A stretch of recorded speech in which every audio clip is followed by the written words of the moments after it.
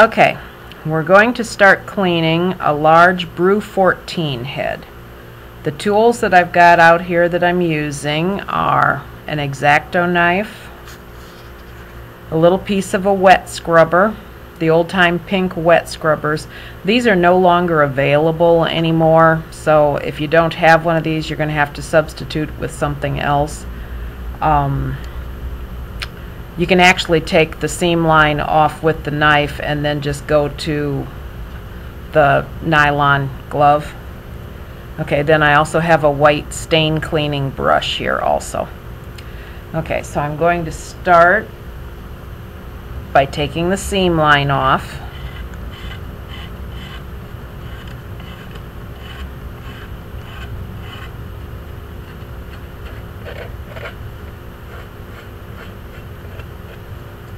So I'm going to scrape the seam line off all the way around the head. Be careful not to gouge the head with your X-Acto knife. Now this head has been soaking in water, oh, for about an hour or so. I've had it over soaking in the sink. I do have a little pan of water right here that I can dip the head in when I'm ready to rinse off. Okay, all of this extra stuff that's on the knife, I'm going to put in the jug of water. Okay, turn it over. Do the seam line on this side. And carefully take it off around the ears.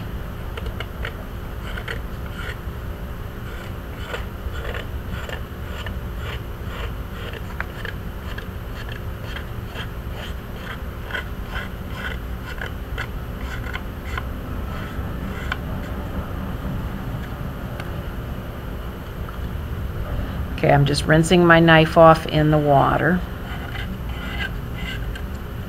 I want to keep this head wet, but I don't need to be actually cleaning this in a bucket of water. I can do it over top of the towel. You don't need to actually do it in the water where you've got the water dripping all down your elbows and everything else. As long as the head is wet and you rinse it off occasionally is all that's necessary.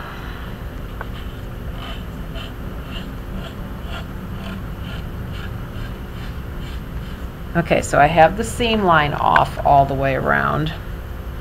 Now I'm going to take the little tub of water I've got here, rinse off all those scrapings that I've just taken off from the seam line. Okay. Now I'm ready to start scrubbing with the little pink wet scrubber. You can also use, Seeley's has something called comfy sponges. I'm not sure, I believe Kemper used to have those also. Okay, so I'm going to use the white side, which is the real smooth side, not the pink side with the sandpaper on it. That's a little bit too rough. Okay, so I'm going to start by removing the seam.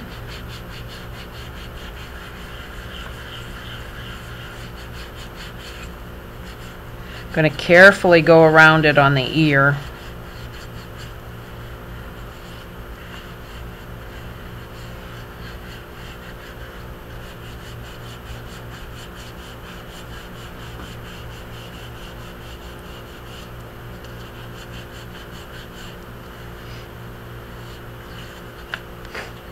Okay.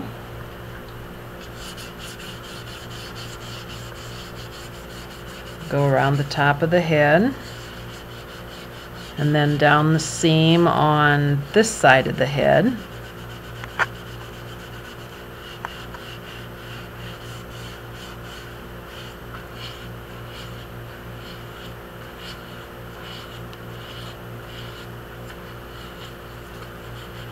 And then down the side of the neck.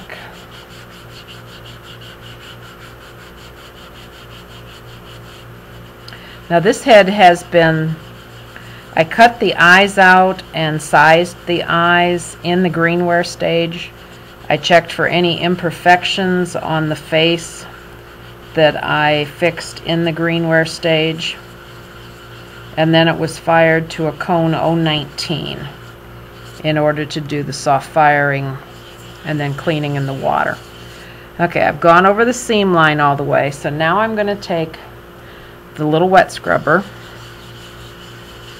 and I'm going to go lightly over all the larger areas of the face. I don't want to get this down in like around the nose and the eyes and the mouth too closely or it's going to take off some detail I don't want to lose.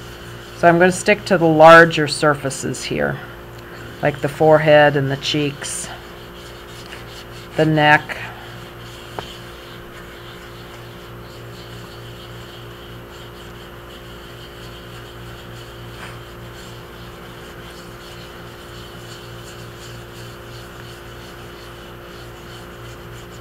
Okay, now I'm going to switch to this white stain cleaning brush.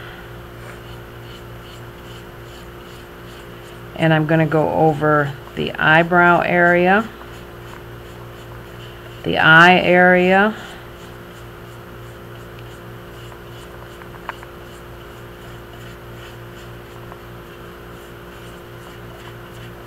I go over both eyes. I want to go over the eyelids, the tear ducts, the upper eyelids, back over the eyebrows again. Okay, I want to go over the nose. Make sure it's clean around the nose. Then I'm going to go down to the lips. Use the brush on the lips. I'm going to go into the little creases right here and around the chin.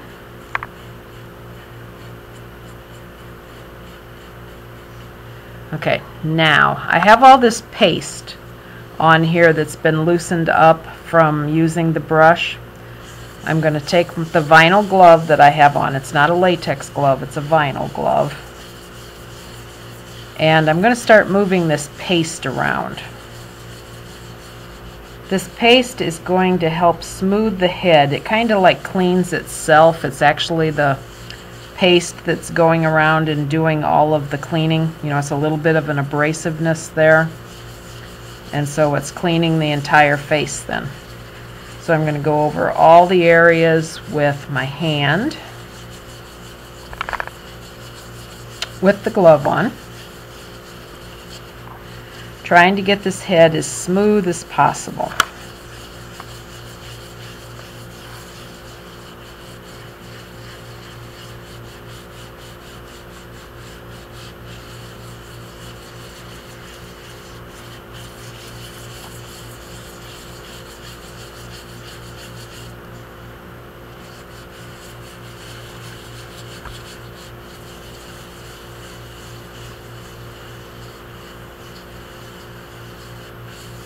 Okay, one thing I've noticed, the camera kind of speeds up the motion some.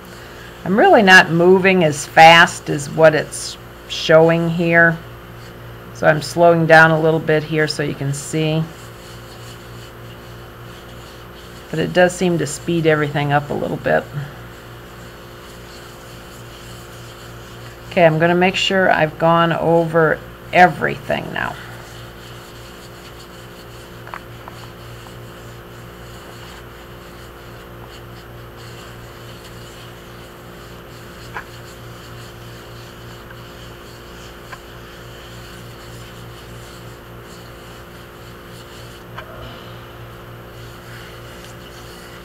Top rim.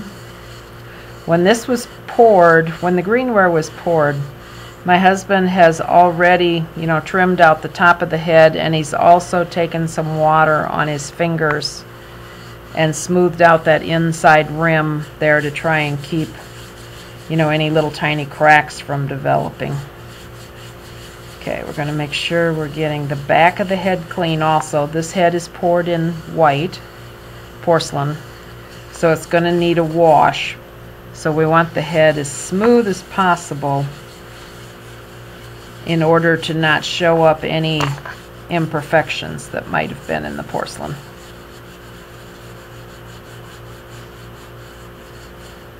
So around the ears. Okay, now you've noticed so far I haven't dipped this back in the water yet. I've been cleaning the whole thing with just a little bit of water on my fingers. I can keep the paste wet enough that I can continue to clean the entire head.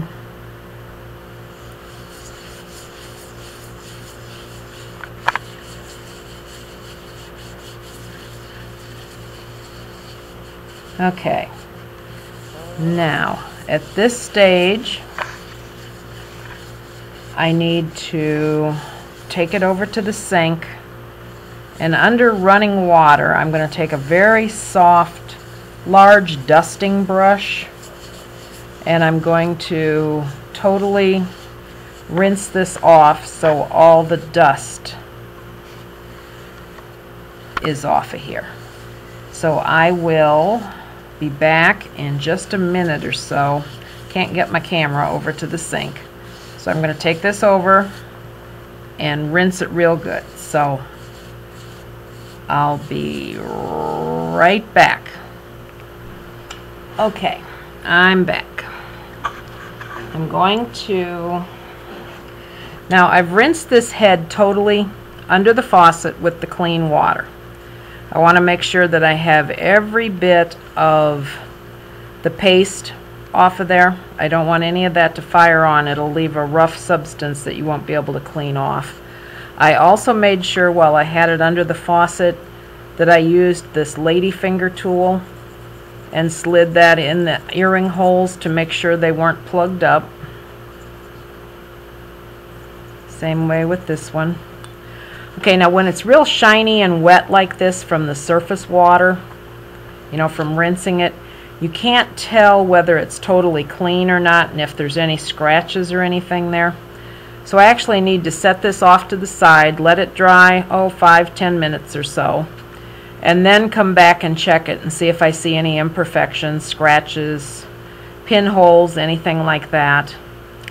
And if there is, then I'll, you know, re-clean it again the same way I just did with water and the glove on my hand. Then when I know it's, you know, totally finished, looks great, I'm going to put this in a kiln and I'm going to fire it to an 06. Not a cone 6, but an 06. I'm going to partially fire it to an 06. Then after it cools, I'm going to take it out and then I'm going to use a super doll sponge uh, it's a little sponge that looks like this. I'm going to spritz the head with water from a water bottle after I take it back out after firing to a cone 06. I'm going to wet it with a spray bottle. Then I'm going to dip this sponge in the water and I'm just going to wipe all over the head like this as one last precaution before I fire to a true cone 6. Okay, so that'll be my last step. After it's been fired to an 06, then I'm going to go back in, go over it with this sponge to make sure everything's totally clean. And then I'll fire it to a cone 6, and then it'll be ready to start painting. Okay. Oh, also make sure you have your name and the year incised on the back of the head. And that should be about it. It's ready to go in the kiln.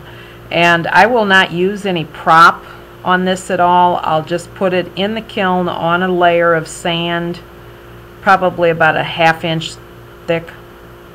So then as it's firing, the little grains of sand work like little ball bearings to where as it shrinks, they'll just kind of roll on the sand and it won't stick to the shelf. But I don't actually use kiln wash on my shelves. I don't need it. And I don't need any prop at all for this head. It should fire just fine without being propped. Okay, that's about it. Let's get this head fired to a true cone 6 so it's ready to paint on. Thanks.